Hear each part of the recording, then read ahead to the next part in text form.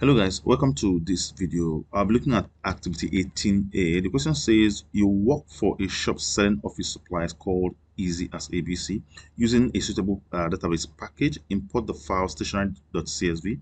Use these data types for each um, field. Of course, this data type on the table. And then some field names are inappropriate. Create appropriate and meaningful field names for those fields use the code field as your primary key okay? So let's go and import the file. So let me open my database here. So i want to go to of course from uh, external data. I want to go to new data source. I want to go to from file and then go to um, text file. Okay so you browse. Let's browse for stationery. Open that and then okay this I want to go to next. Uh, first field contain contains uh, field names. Check that. And then go to the next one. Mm, I don't think I need to change anything here. So here I need to choose a primary key. So from the question here from the question here the code field has to be the primary key. So I want to ensure that that is selected from here. So this is already selected so we're good with, with that so I want to nest it and then of course um, finish up and then hope for no okay no error here okay? So of course uh, let's work on the table now and then let's give it uh, appropriate uh, field names right? Good. And then set the data types. Um, so let's go to design view. Let me open uh, stationery. I'll go to um, home and then design view. So for the first uh, field i think code is okay. So instead of saying type of product to be sold hmm uh, i can say type uh, maybe p type which will stand for product type. How about that? And i think type is okay. So i, I, will, I will leave it as type. And then of course uh, the next one the description of, of, of, product to be sold. So i will, I will leave it as uh, description quantity of items in each pack. So i will leave it as uh, quantity. And this purchase price i'll call it p price something like that. And then of course the sales price here i'll call it um, uh, s price right? So i think that's fine okay?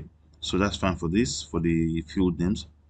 So for the what's it called? For the um, code I will leave it as uh, numeric right? I will leave this at numeric which is long integer which is fine. And then I'll make this one long uh, text just in case long text right? Um, quantity what is quantity? Quantity is numeric too which is supposed to be integer which is okay. And then um, color color should be text too? Uh, yeah short text. Hmm. let me change it to long text whatever. And then uh, else s price.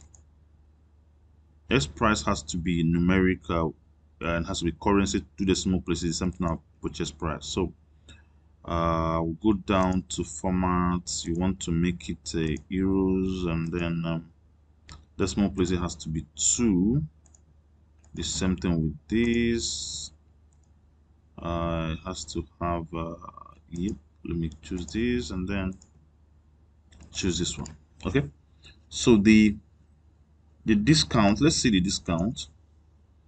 Okay discount has to be uh boolean okay where's boolean yeah that's it right there okay? So i think uh, what else? Mm, okay we've done everything here so let's go save our changes. Yes yes. For everything i think we're cool. Oh sorry i forgot this uh, checkbox here. So let me go back and then this checkbox um i need to make it to be uh yes or no instead of that the checkbox. So let me just put a text box this time around. I'll see yes. Yeah that's it. Okay so everything is no also in this one. Yeah.